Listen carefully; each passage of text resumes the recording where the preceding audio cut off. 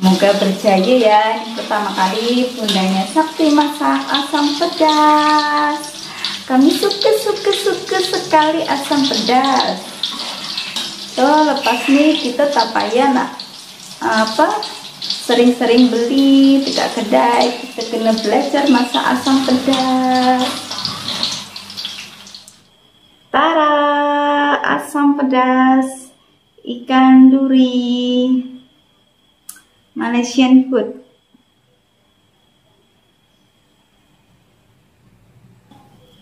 Bismillahirrahmanirrahim. Assalamualaikum warahmatullahi wabarakatuh. Hai teman-teman. Berjumpa lagi dengan kami. Dengan Sakti dan Bundanya Sakti. Di video kali ini Bundanya Sakti nak coba masak asam pedas. Asam pedas kesukaan Sakti Ayah Sakti, Bunda Sakti pun suka. Dan sekarang nih saya baru first time pertama kalinya nak coba masak asam pedas untuk ayahnya Sakti. Dan sekarang nih kita nak coba masak asam pedas ikan duri. Teman-teman, ikuti videonya jika ada kekurangan atau yang perlu ditambahkan dalam uh, bundanya Sakti masak nanti bisa komen ya teman-teman. Ikuti video dari kami. Oke okay, let's go, let's go.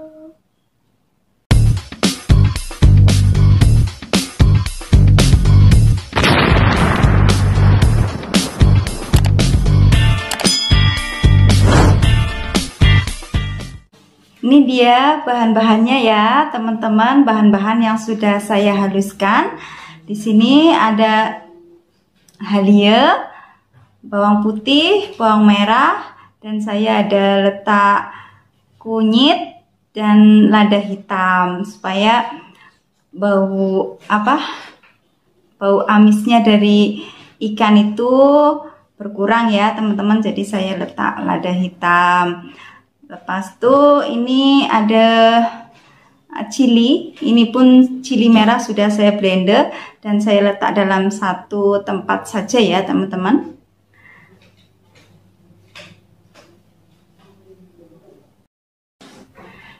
Oke teman-teman semua ini dia uh, ikan durinya. Ikan duri ini sudah saya cuci bersih.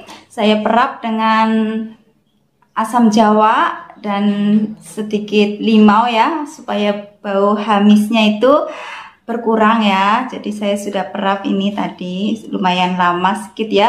Dan saya sudah cuci bersih. Ikan duri ya teman-teman. Kemudian saya juga ada guna batang serai. Lepas itu ini ada kacang bendi. Kalau Indonesia ini sebutnya kacang okra ya ini ada tomato dan tak ketinggalan nih daun kesumnya. Tapi saya tak ada bunga kantan jadi guna apa yang ada saja daun kesum juga sudah mewakili ya teman-teman. Dan ini asam. Ini adalah air asam ya. Ini tak boleh terlupakan. Nak masak asam pedas harus ada air asamnya oke sekarang kita langsung saja menumis bahan-bahan yang sudah dikisar tadi ya teman-teman. Teman-teman saya sudah masukkan batang serainya ya. Jadi saya goreng batang serai dulu. Sebab saya tuh macam takut juga kalau masak menggunakan batang serai ini takut ada rasa pahit-pahitnya ya. Jadi saya goreng dia dulu supaya dia uh, kering. Lepas itu saya nak kasih irisan bawang merah ini supaya lebih wangi ya. Ini style masak asam pedas ala bunda sakti. Oke ya teman-teman. Ini uh, batang serainya sudah layu sudah kering. Saya nak masukkan uh, bawang merahnya. Oke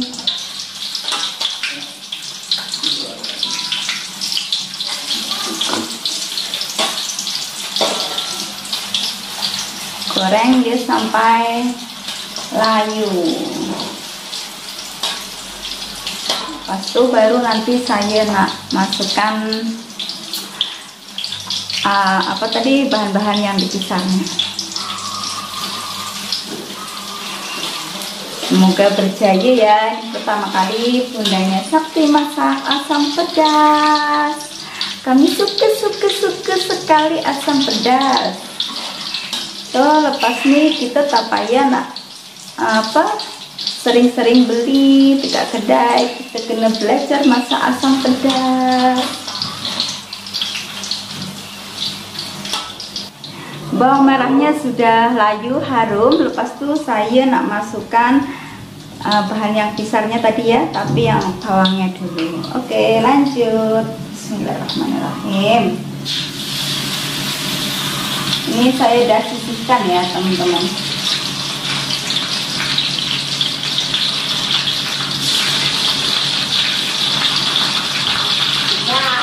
apa sakti Ayah sudah balik. Ayah sudah balik.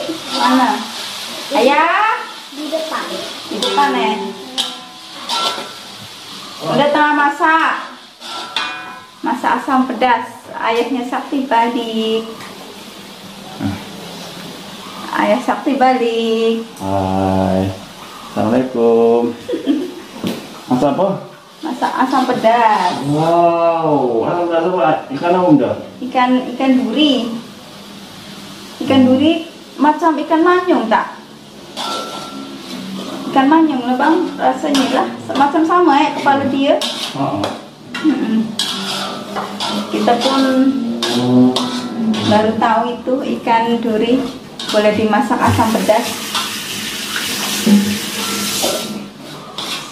Sedap. Jangan lupa like, komen, dan subscribe. Bumbu halusnya ini tadi bawangnya sudah pecah minyak ya teman-teman sudah harum sekarang saya nak letak uh, lada blendernya nih lada merah Bismillahirrahmanirrahim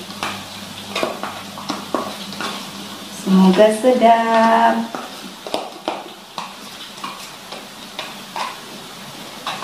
Oke saya gaul-gaulkan.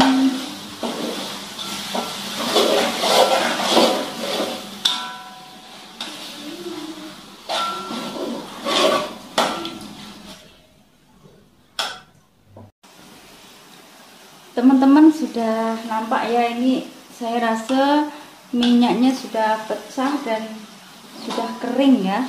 Jadi saya boleh letakkan ikannya ya. Bukan. saya mulai letakkan ikannya. Bismillahirrahmanirrahim.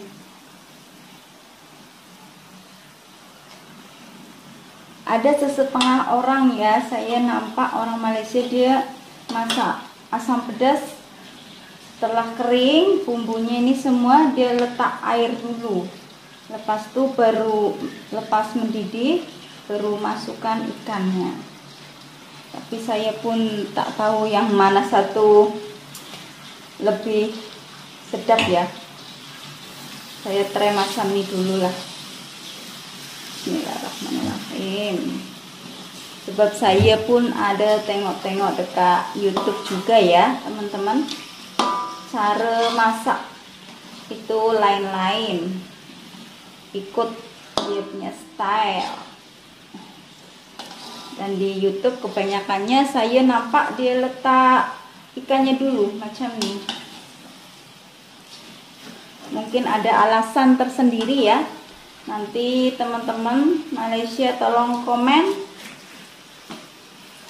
di ruang komentar. Seperti ini. Ini gaul-gaul sedikit ya. Supaya bumbunya merata. Di sini saya sedang belajar ya teman-teman. Nanti teman-teman tengok macam mana hasilnya. Betul ke ada kesalahan ke? Atau kurang apa? Ya. Tapi dari aroma dia saya sudah bau-bau wangi lah. Mungkin serainya kan.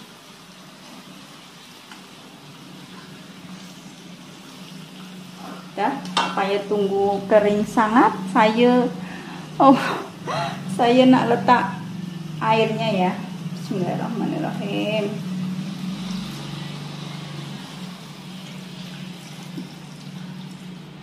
buat video masak-masak nih.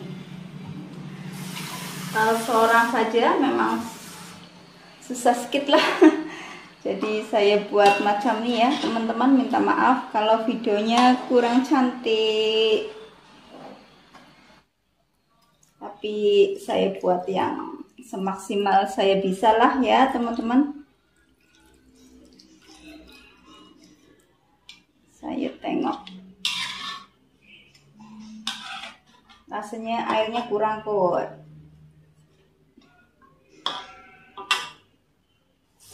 tambah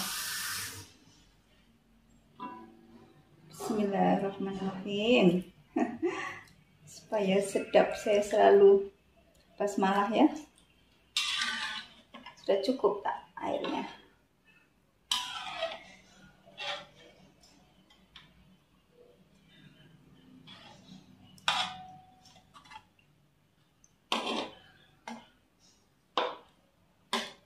rasanya sudah cukup ya. Atau tambah sedikit lagi tak tambah lagi kucit lagi. Bismillahirrahmanirrahim. Sedap sedap sedap. Baunya sudah sedap. Lepas nih nanti baru kalau sudah mendidih ya baru saya nak letakkan kacang bendinya dan apa tomatonya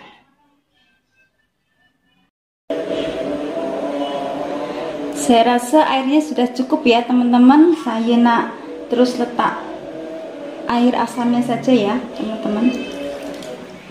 Bismillahirrahmanirrahim. Wah makin banyak airnya. Cukup tak kepekatannya nanti nih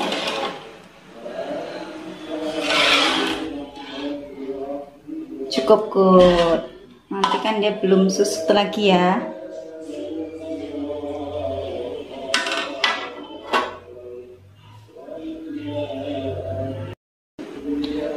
Oke sekarang ini sudah mendidih ya teman-teman. So saya nak letakkan kacang bendinya. Kacang bendi. Saya nak letakkan semuanya lah sekali dengan tomatonya. Wah macam sudah betul-betul ya betul-betul komplit asam pedas saya eh. daun kesumnya bismillahirrahmanirrahim. Eh, eh banyaknya daun kesum nih. Biarlah lebih daun kesum lagi lebih wangi ya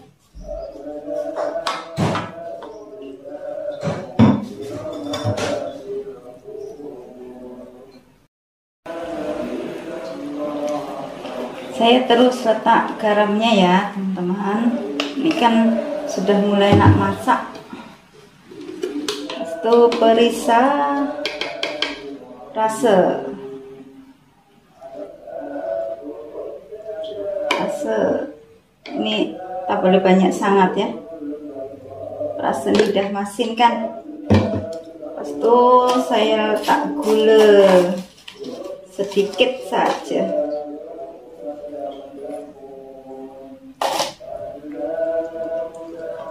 macam ni saya pun kena hati-hati gaulnya ya teman-teman sebab takut ikannya ini nanti hancur kan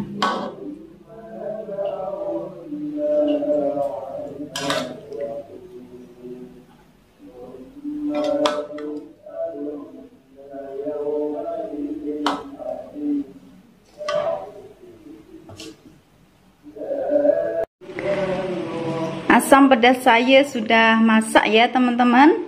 Saya sudah letak semua perise, garam dan gula. Sekarang saya matikan saja apinya dan saya nak bagi jiran saya rasa. Besok saya tanya apa apa ya pendapat dia asam pedas saya kurang apa. Besok saya tanyakanlah sama dia ya Tada! Asam pedas ikan duri Malaysian food. Sedap.